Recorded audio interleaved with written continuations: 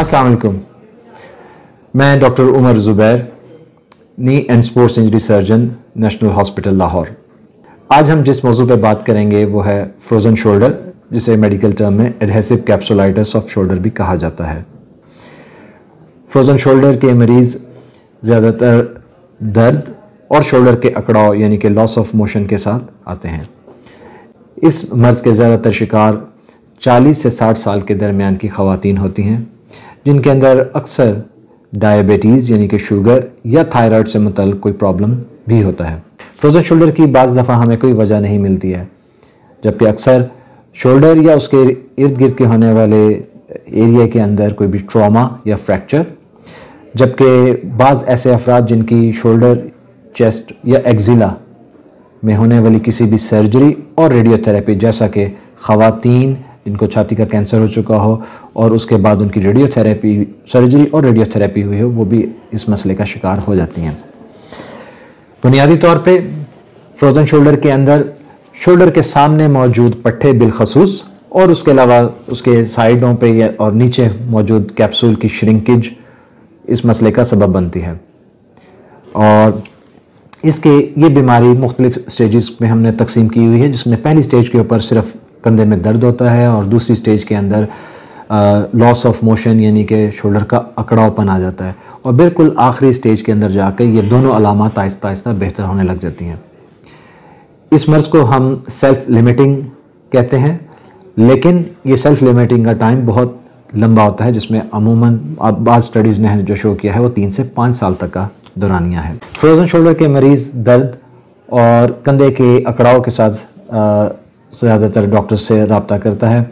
और इस सूरत में मरीज़ के एग्ज़ाम क्लिनिकल हिस्ट्री एग्जामिनेशन और बुनियादी इन्वेस्टिगेशन जिनमें कम अज़ कम एक एक्सरे शामिल है, उसके बाद मरीज़ का इलाज शुरू किया जाता है। ऐसे मरीज़ों का अगर कोई ना, कोई भी इलाज ना भी किया जाए तो भी वो आहिस्ता आहिस्ता बेहतर हो जाते हैं, लेकिन ये बेहतरी का दौरानिया बहुत तवील तीन से, जैसा कि मैंने अर्ज़ किया, तीन से पाँच साल तक चलता है। शोल्डर का ऐसा मरीज़ जिसको कि शुगर या थायराइड का कोई मसला नहीं भी है, उसमें भी हम इन दोनों बीमारियों को टेस्ट करते हैं ताकि पता ये चलाया जा सके कि कहीं इनको ये बीमारी अब लाक हो तो नहीं चुकी है। इलाज के तौर पे इस मर्ज़ में सबसे पहले दर्द वाली दवाइयाँ, यानी कि पेन किलर्स जबकि उसके साथ साथ बहुत ज़रूरी जो एक एलिमेंट है, वो है इंट्राटिकुलर स्टीराइड और लोकल एनेस्थेटिक इंजेक्शन यानी कि कंधे में लगने वाला टीका, जिसके साथ एक ख़ास किस्म की फिजियोथेरेपी शामिल है।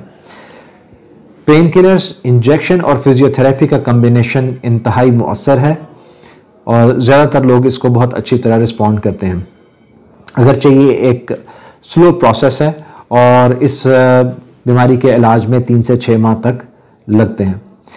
90 टू 95 परसेंट मरीज़ इस इलाज से बेहतर हो जाते हैं, लेकिन कुछ मरीज़ इस इलाज के बावजूद उनकी बीमारी कंट्रोल में नहीं होती और उनको अगले स्टेप पे जाना पड़ता है, जिसके अंदर आजकल हम हाइड्रोडाइलेटेशन यानी कि एक हाई वॉल्यूम इंजेक्शन शोल्डर के अंदर देते हैं। और उसके अलावा की होल या कैमरे वाली सर्जरी के ज़रिए उन कंट्रिक्शंस को रिलीज़ किया जाता है, वो भी शामिल हैं।